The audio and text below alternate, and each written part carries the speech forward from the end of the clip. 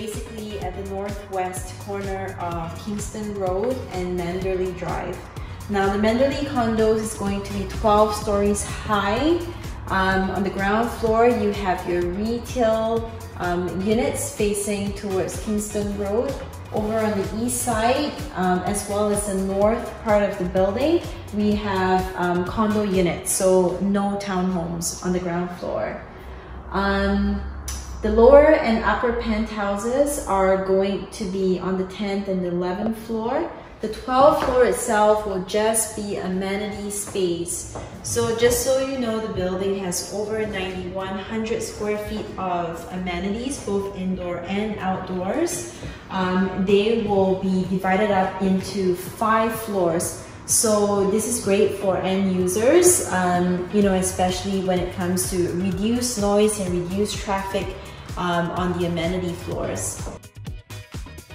Surrounding the outdoor uh, amenity space on the 12th floor, you also have your barbecue stations, your fire pit lounges, uh, your sun deck lounge uh, facing towards the water in case somebody wanted to, you know, tan.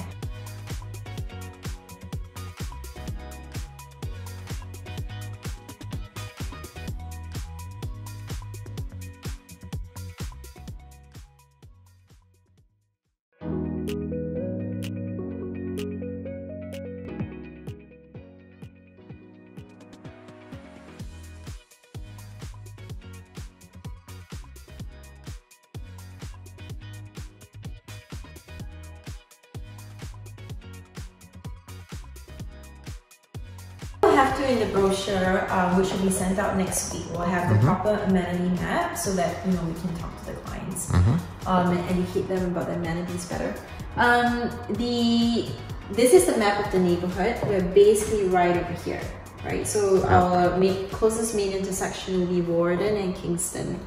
Um, now, just to give you orientation, um, downtown is right over here. Mhm. We are about 20 minutes from downtown. Mhm. In fact, um, last week, um, I left the office here at 5 o'clock. Mhm. I got to York University in 18 minutes. Oh wow. Yeah. So um, 20 minutes to downtown.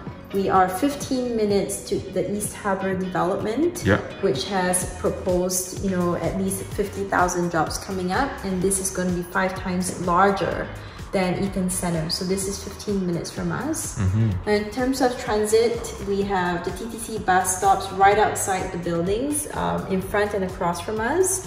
That can also take you to Victoria Park subway station in five minutes. Um, and uh, the Danforth GO station, we're looking at six minutes. Cool. Yeah. Uh, we also have direct access uh, to the major highways within minutes.